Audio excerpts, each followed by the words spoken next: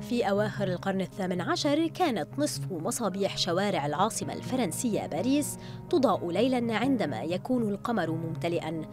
وكان ذلك بهدف الادخار لا بهدف الحفاظ على البيئة. ولطالما اعتبرت هذه الأضواء مصدراً للإزعاج ليس إلا. أما اليوم فقد باتت المسألة مثيرة للقلق.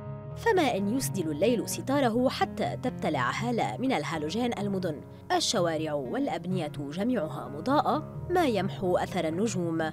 وقد تبلورت الظاهرة في السنوات العشرين المنصرمة فمعظم أقطاب الأرض باتت اليوم مرئية من الفضاء.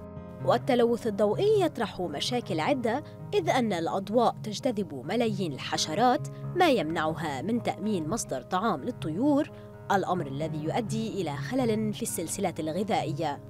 أضف أن الأضواء تربك الطيور المهاجرة التي تعتمد على النجوم للسفر. الأضواء الاصطناعية قد تعطل أيضاً دورة حياة الأشجار فتلك التي تعيش تحت الأضواء خلال فترة الليل تتأخر عملية تساقط أوراقها.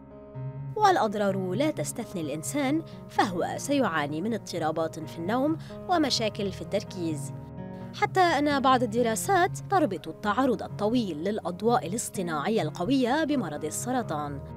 ولا بد من الإشارة إلى أن تسليط الضوء باتجاه السماء أو واجهات المباني بدلاً من تسليطه باتجاه الأرض يشكل هدراً كبيراً للطاقة.